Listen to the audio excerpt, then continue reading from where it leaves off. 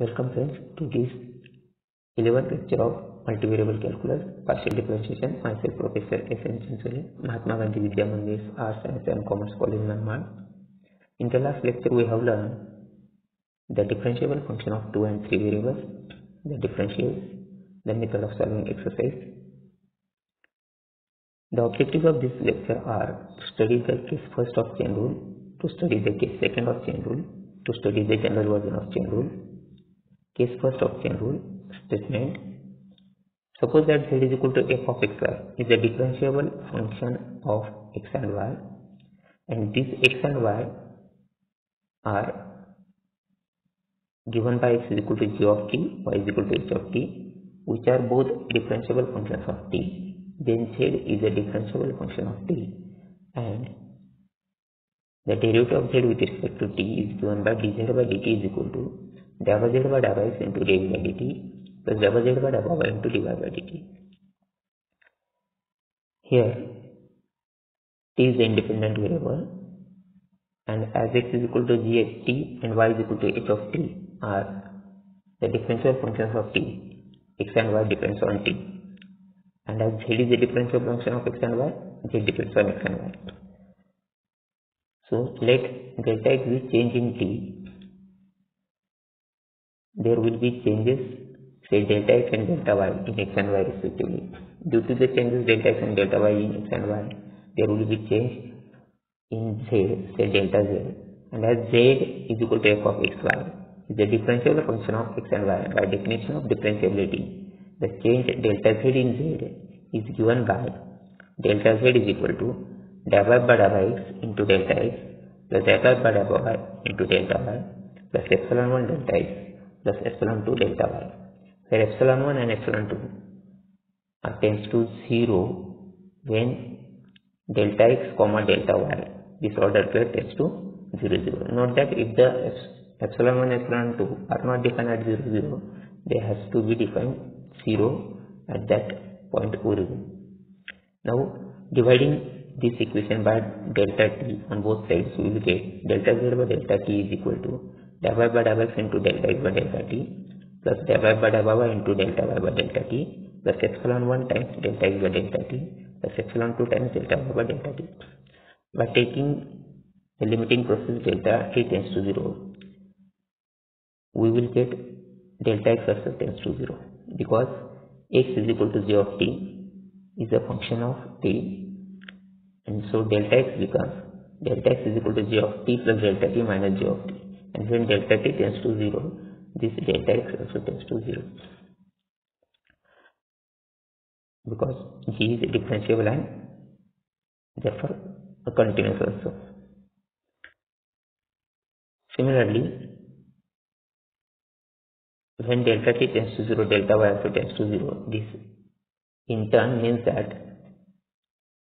delta x and delta y both tends to 0 0 when delta t tends to 0 and we know that epsilon 1 and epsilon 2 both tends to 0 when delta x delta y tends to 0 0 so delta x delta t tends to 0 implies delta x tends to 0 and delta y tends to 0 and this in turn implies epsilon 1 tends to 0 and epsilon tends to epsilon 2 tends to 0 so limit delta t tends to 0 delta z by delta t is equal to dou y by x times limit delta t tends to 0 delta x by delta t plus dou y by dou y times limit delta t tends to 0 delta y by delta t. Note that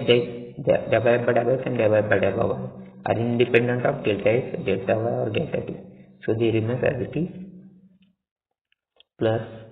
limit epsilon 1 delta t tends to 0 times limit delta x by delta t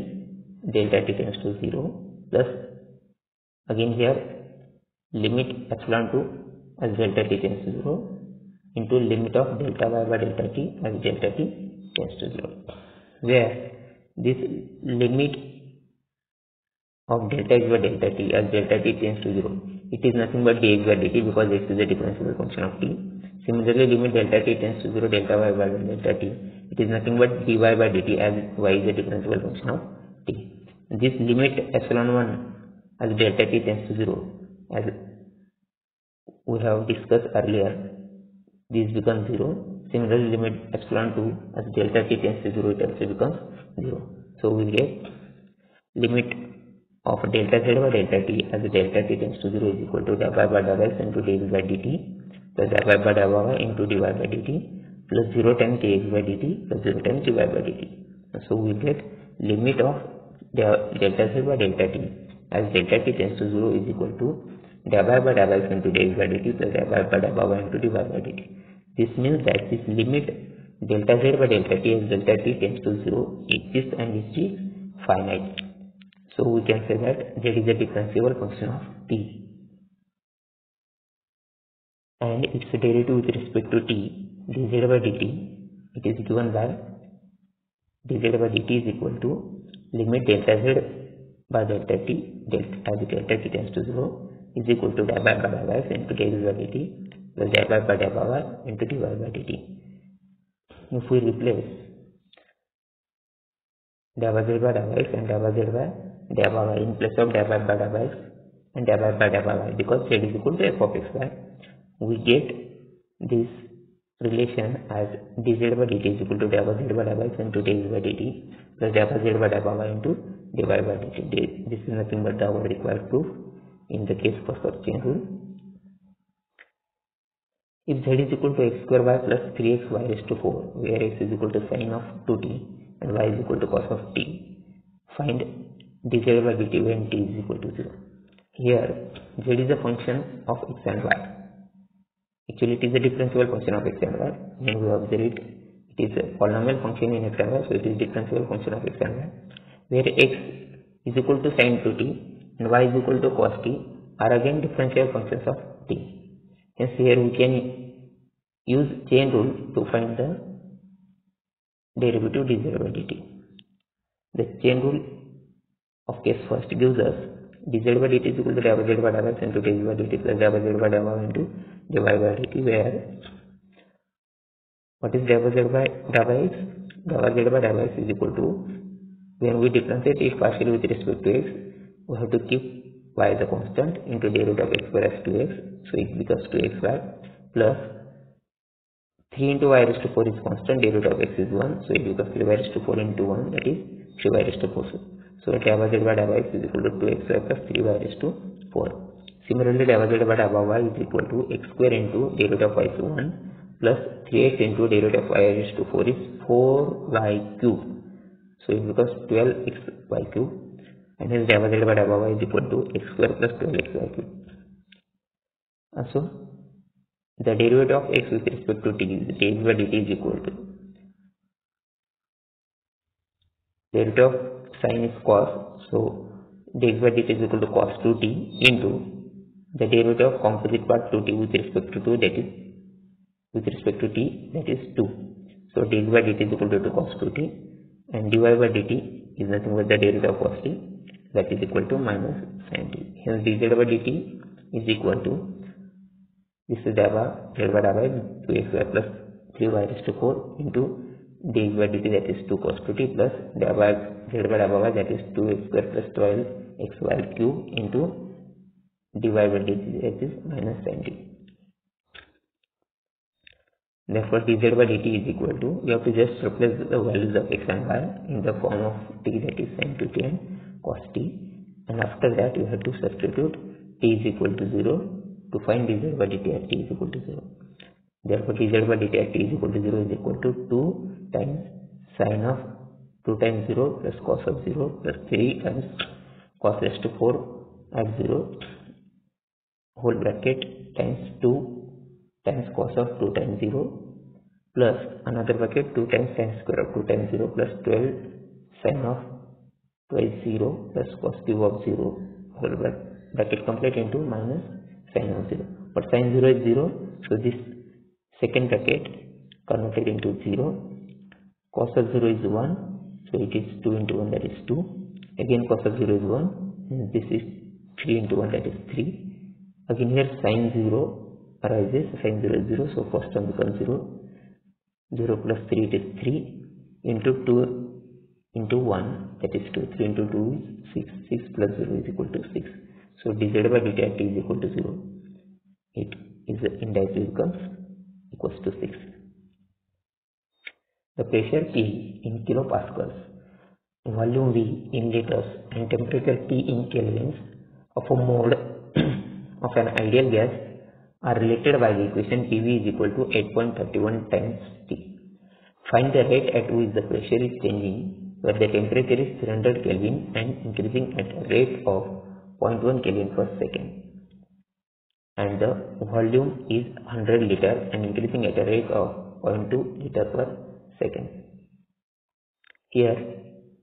if t represents the time elapsed in seconds,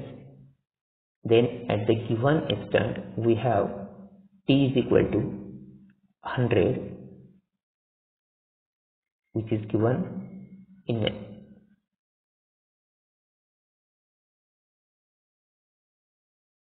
t is equal to 100 dt by sorry this t is given to be 300 kelvin.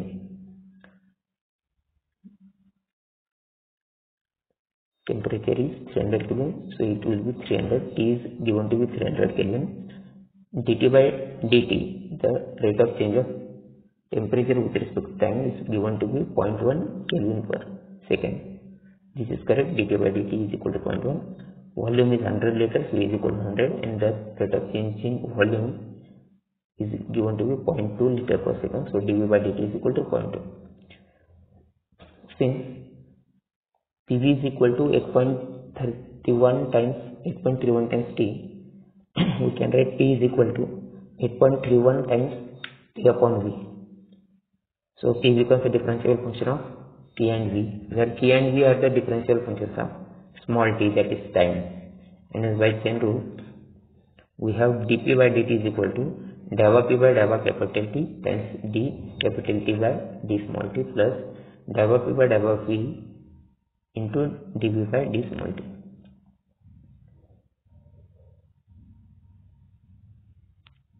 Where dava p by dava capital T it is given by as t is equal to 8.31 times t by v. That 8.31 upon v is a constant into derivative of t that is 1 into dt by dt plus while uh, differentiating t is equal to 8.31 times t upon v with respect to v that 8.31 times t becomes constant and the difference derivative of 1 upon v with respect to v is minus 1 upon v square so this dav dava t by dava v becomes minus 8.31 t upon v square into dv by dt as it is now dt by dt is given to be 0.1 and dv by dt is given to be 0.2. Similarly, the volume is given 100 liters, v is equal to 100. Here you have to replace v is equal to 100 also, and t is given as 300 Kelvin. So you have to replace t is equal to 300. After simplification, we will get the dp by dt is equal to minus 0.04155 and it is approximately equals to minus 0.042 and as it is in with negative sign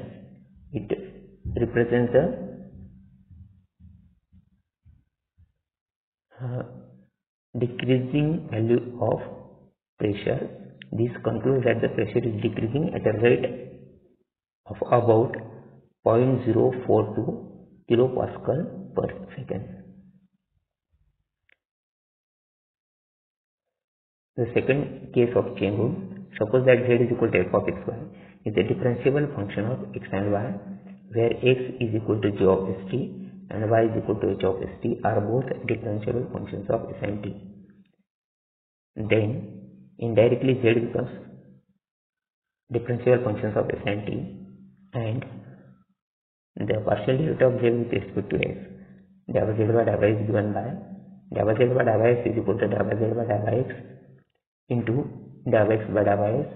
plus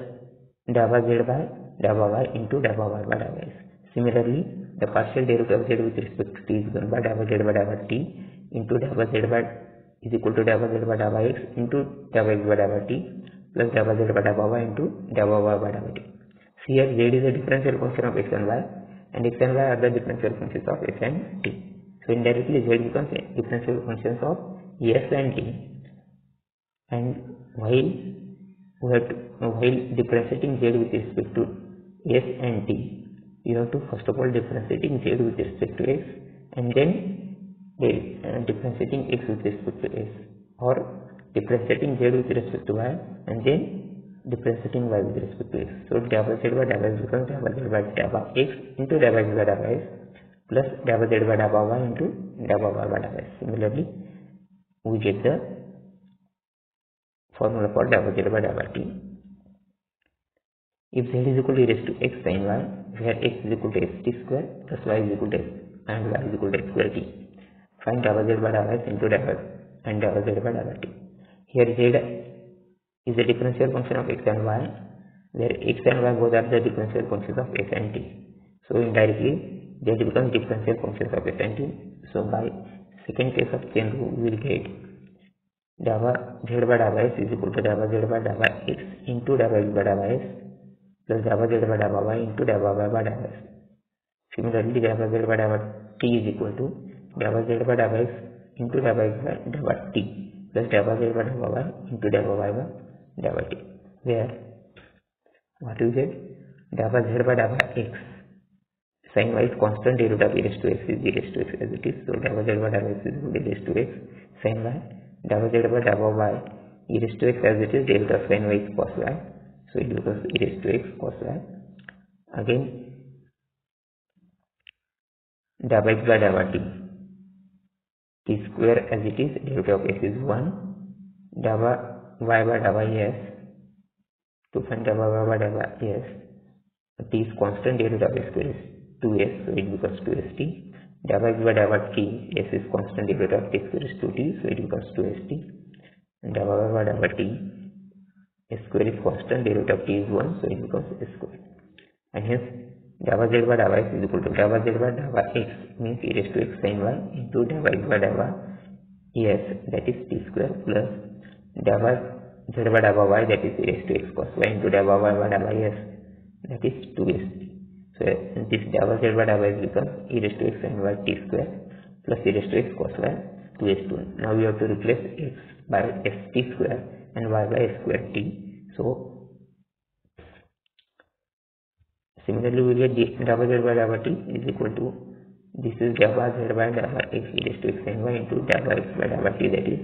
2st plus this is dabba z by dabba y that is e raised to x cos y into dabba y by dabba t that is a square. Now we have to replace x by st square and y by square t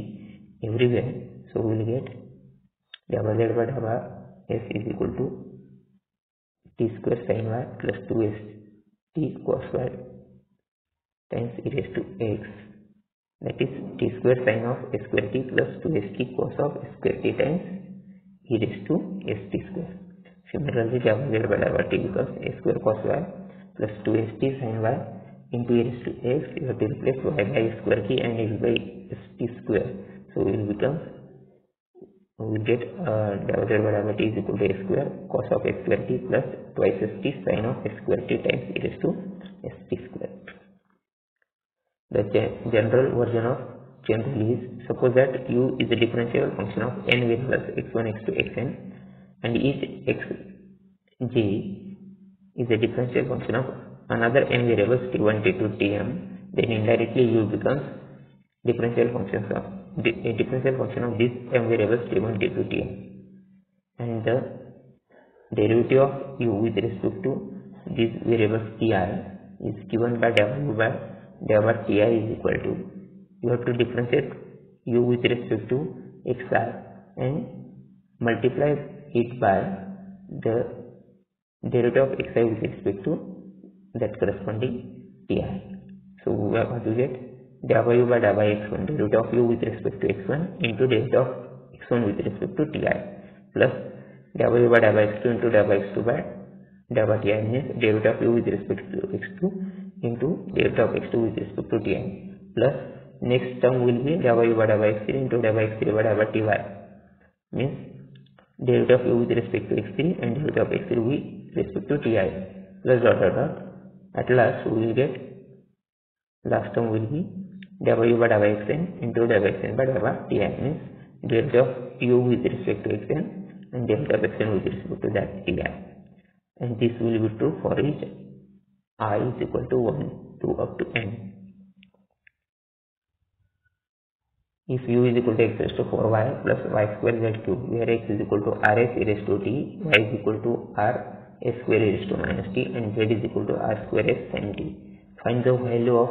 w by w r when x is equal to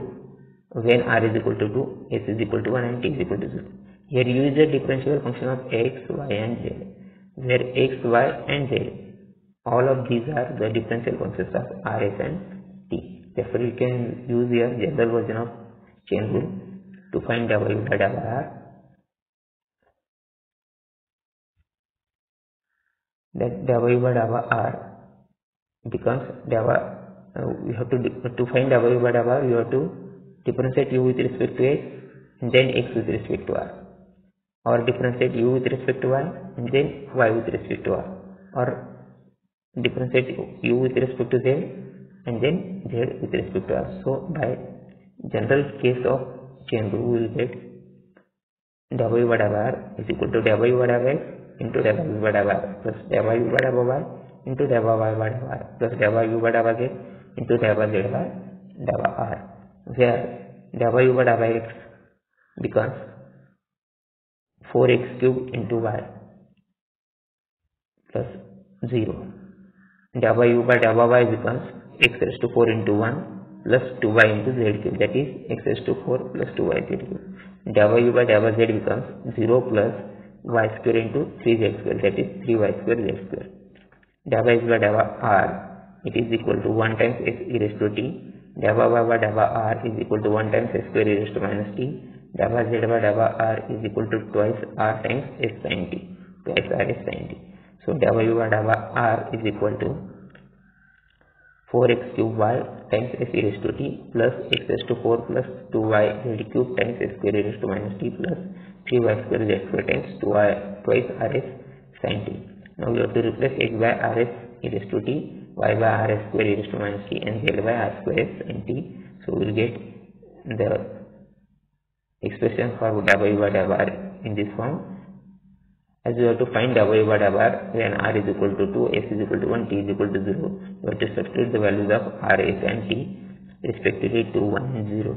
we will get w by w r at r is equal to 2 s is equal to 1 t is equal to 0 is equal to 4 times. 2 times 1 times e raised to 0 bracket raised to 3 times 2 times 1 square times e raised to 0 times 1 times e raised to 0 plus into bracket 2 times 1 times e raised to 0 bracket raised to 4 plus 2 times 1 times 2 times 2 times 1 square times e raised to 0 into 2 square times 1 times sin 0 bracket cube into this is 1 square times e raised to 0 plus again 3 into square bracket 2 times 1 square times e raised to 0 bracket square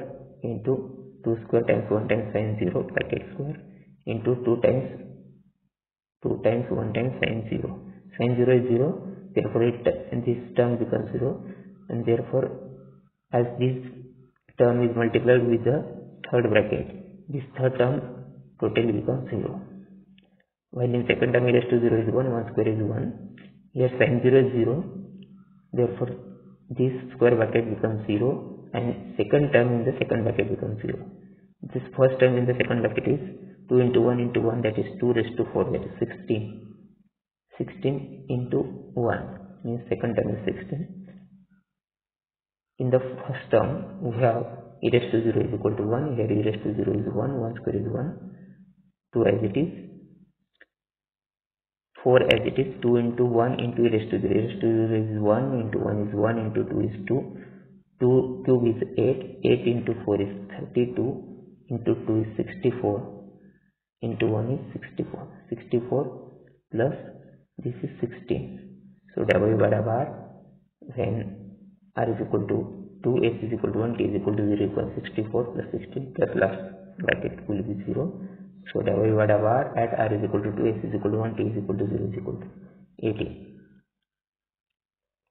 assignment. In the description of this youtube video there is a link of google form for field.com assignment. For any query please write to mr.sanjaymas at gmail.com if you like this video please click on the like button if you want to share this video to your colleagues and friends or students you can click on this share button.